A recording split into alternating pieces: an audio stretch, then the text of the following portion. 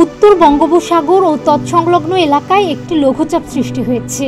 এর প্রভাবে দেশের উপকূলীয় এলাকা ও সমুদ্র বন্দরসমূহের উপর দিয়ে দমকা অথবা ঝোড়ো হাওয়া বয়ে যেতে পারে বলে জানিয়েছে আবহাওয়া অধিদপ্তর। এজন্য দেশের চারটি সমুদ্র বন্দরে তিন নম্বর স্থানীয় সতর্ক সংকেত দেখাতে বলেছে আবহাওয়ার সংস্থাটি। শুক্রবার বিকেলে আবহাওয়াবিদ বজলুর রশিদের সই করা আবহাওয়ার সতর্কবার্তায় এ তথ্য জানানো হয়েছে। এতে বলা হয়েছে, উত্তর বঙ্গোপসাগর ও তৎসংলগ্ন এলাকায় একটি লঘুচাপ সৃষ্টি হয়েছে। এর প্রভাবে উত্তর বঙ্গোপসাগর এলাকায় বায়ুচাপের তারতম্যের আধিক্য বিরাজ করতে পারে। উত্তর বঙ্গোপসাগর বাংলাদেশের উপকূলীয় এলাকা এবং সমুদ্র বন্দরগুলোর উপর দিয়ে দমকা বা ঝোড়ো হাওয়া বয়ে যেতে পারে। এই অবস্থায় চট্টগ্রাম, কক্সবাজার, মোংলা ও পায়রা সমুদ্র বন্দরকে তিন নম্বর স্থানীয় সতর্ক সংকেত দেখাতে বলা হয়েছে।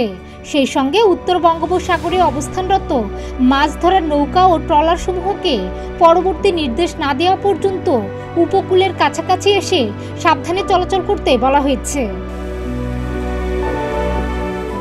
এর আগে শুক্রবার সকাল নয়টা থেকে পরবর্তী বাহাত্তর ঘণ্টার পূর্বাভাসে সব বিভাগে বৃষ্টি হওয়ার সম্ভাবনা রয়েছে বলে জানিয়েছে আবহাওয়া অধিদপ্তর।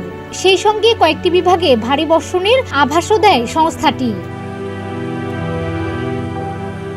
আবহাওয়ার ওই পূর্বাভাসে বলা হয়েছে, শুক্রবার খুলনা, চট্টগ্রাম ও সিলেট বিভাগের অনেক জায়গায় এবং রংপুর, রাজশাহী, ময়মনসিংহ, ঢাকা ও বরিশাল বিভাগের দু এক জায়গায় অস্থায়ীভাবে দমকা হওয়া সহ হালকা থেকে মাঝারি ধরনের বৃষ্টি বা বজ্রসহ বৃষ্টি হতে পারে।